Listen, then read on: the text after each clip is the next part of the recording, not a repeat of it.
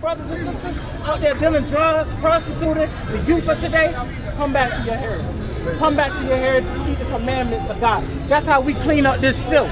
That's how we get rid of this out of our community. One man at a time.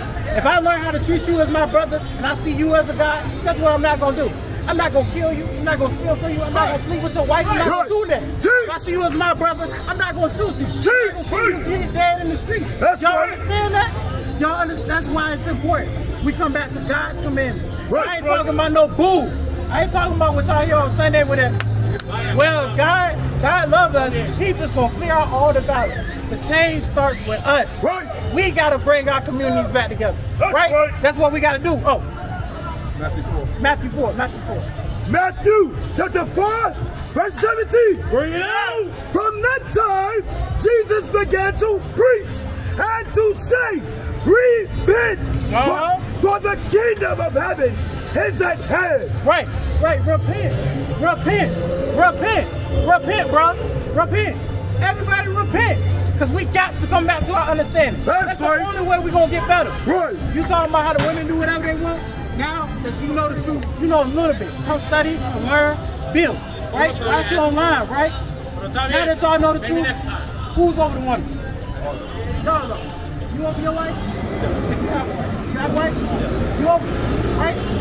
We'll deal with that. We'll deal with it. Wait, why you look over like that? Why you made that smirk? You not over her? Okay? Oh, gracious. We gonna build. This is an excellent opportunity because my brother came up and he said what? He said, what message do you have to the youth? You're a young man. I'm a young man. We all young men out here. We are able to learn. Right. So the, give me first Corinthians. You got what you got for me? Let's get it. Let's get it. You brothers already heard this. Let's build. Because we gonna interact. We gonna deal. And I'm gonna ask questions. Bro, that's how I teach. We gonna ask questions about what we just read. we gonna get the edification and the understanding. Read. First Corinthians chapter 11, verse 3. But I would have you know that the head of every man is Christ. So who's your head? Jesus Christ, right? Who's, who's your who's your head? Who's your head? All right, next verse. And the head of the woman is the man. Is that you a man? Yes. You a man. You a man. All right, read next. And the head of Christ is God. God. Right? So that's the order that God Himself, the Most High God, set up. If a woman comes to you like, you don't tell me what to do, how can she do that when you over her? You got a daughter? You got any of y'all got kids? Okay, all praises. Remember what we went over earlier. If you have a daughter, what does she call you? Daddy. She calls you dad, right? Your daughter, if you have a daughter, call you, I'm just saying, just for the situation, she will call you father. She will look up to you to rule the house, Right. put the mama, put her mama in order, provide, right? Right. Teach her according to this Bible, That's right. right? So she can prosper. Give me Nehemiah 8 8. Is that prosper? That's what I want. Finish it up, finish it up. Verse 8. For the man is not of the woman, but the woman of the man. Y'all hear that? What do women usually say? I birth you. Kids come from your loins. They come from your womb. They come from your loins. Right? Right. We, we are. We are. They the carrier. They. So how can I tell you? Wait. This is God talking. This is man talking. This is what we talk about. Right? But in our communities, what do you hear? A whole bunch of nonsense. Right. A Whole bunch of BS. We talking about football games and all. Meanwhile, homeboy got shot down the street. Home girl got raped, murdered, whatever. That's going on. And then we look out to the so-called white man or the so-called police to solve our problems, Right? We'll call 911. But before they get there, who should be policing our communities? Us. Us. This is our nation. This is us. Our men have fault. We're gonna get that too. Give me the read, read, read. We gonna deal with prosperity. Go ahead. So the reason why a lot of us go to these churches is because they promise you what? Prosperity. How can you do better? Go and read. Joshua chapter 1, verse 8. For you, This book of the law shall not depart out of thy mouth. So remember what I just said. This is man talk. We're talking about laws. we're talking about building. How to fix our community, right? How to instruct the youth. How to instruct our women. How to set things in order. Right. In order. Read. But thou shalt meditate therein day and night. So you're gonna read this and remember what I told you, young brothers. Y'all are what?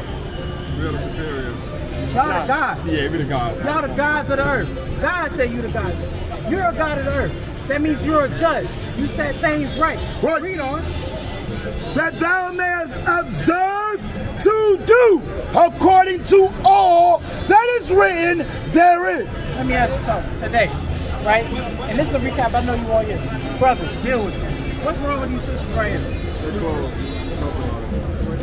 They're wearing shorts. Okay. What does that pertain to? I forgot the word, but have something. I forgot the word. What? Hold on. I got you. Your brother's gonna get you. My brother's gonna get you. They've been here for a I minute. I forgot the word. I know I where got you. Hold up. When we talked about it earlier, what pertained to the man according to your Oh, our pants. The breeches. So what are those sisters wearing? They wearing shorts. They wearing your pants. what? What's your pants? Yeah. And they wear pants? No, they're supposed to be wearing justice. Exactly. Exactly. That's order. That's what the Bible talking about. You meditate therein because now you know good from evil. And now y'all know that, puts a manly spirit on that woman. It definitely did. read, read, read. Verse 8 For then thou shalt make thy way prosperous. That's prosperity. Pastor ever teach you, your auntie, your grandma, your, your brother, whatever, talk about prosperity. That's prosperity according to the Bible. Right. Commandments. You deal with your brothers and sisters righteously. And that only comes with study. A lot of intensive study. What I tell y'all brothers earlier? This ain't nothing that y'all ain't heard. Well, y'all supposed to hear in church. You supposed to hear it in church. You know what I'm saying? But this is what God, that's what's in the King James Bible. In the back of the U, sitting there collecting uh, dirt, dust. That's what's in them. How to instruct the black man, black woman, and get them in order. So we can come back, Christ can come back, and redeem us as We used to scream black power while heroin was pushed. But at the end of the day, nothing's in vain. IUIC has been given a vision. The tents of Judah has risen. Many has attempted the mission, minor murmuring, omitting, and missing the mark.